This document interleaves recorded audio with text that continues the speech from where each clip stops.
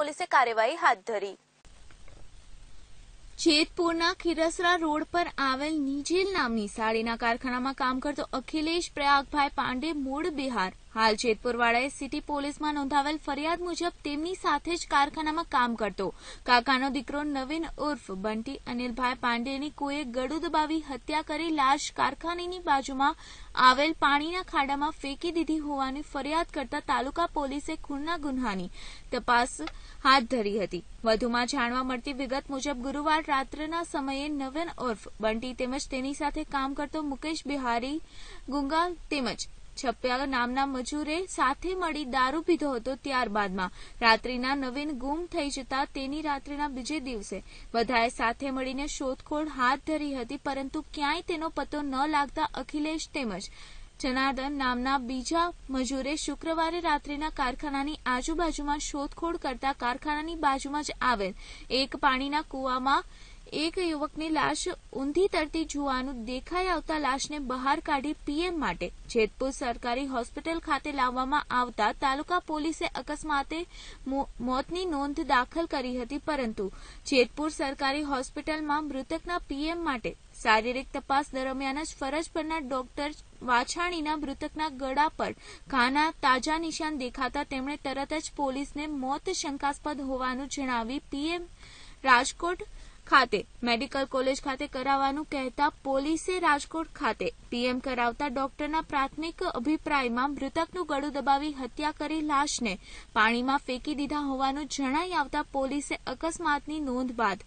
નવીનની ફરિયાદ પરથી અજાણ્યા શખ્સો સામે હત્યાનો ગુન્હો નોંધીને આગળની તપાસ હાથ ધરી છે ओके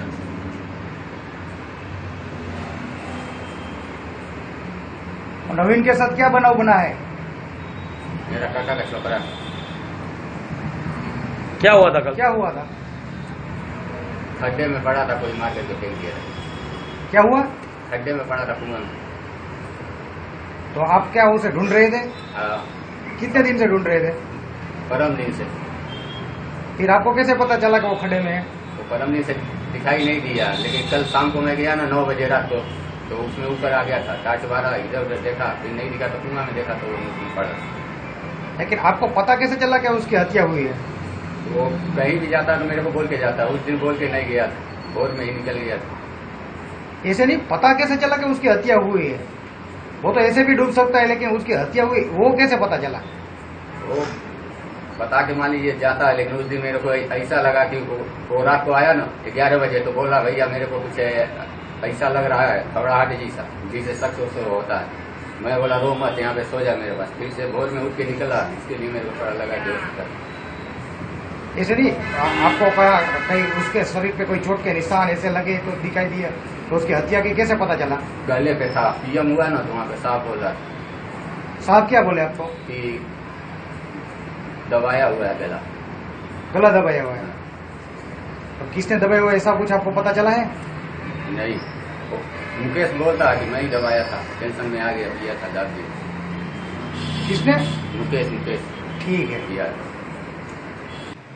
સાહેબ આજે કાલ રાતનો એક બનાવ બનેલો હતો તેના વિશે શું વિગત છે અને પહેલા શું ઘટના હતી ને હવે શું ઘટના છે અ, ગઈ રાત્રે અ, અ, પોલીસ સ્ટેશનમાં જાહેરાત આવે કે નવીનભાઈ ઉર્ફે બંટી અ, કૂવામાં અ, લાશ તરે છે તેના આધારે અત્યારે એના પોલીસ હેડ દ્વારા ઇન્વેસ્ટમેન્ટને ભરી અને પ્રાથમિક કારણ એવું આવેલ કે ડૂબવાથી મરણ ગયેલ છે.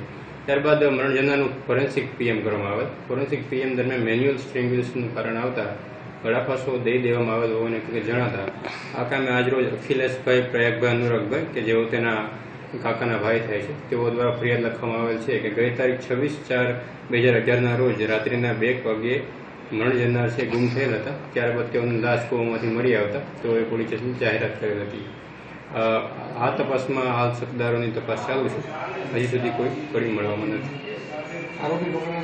ના.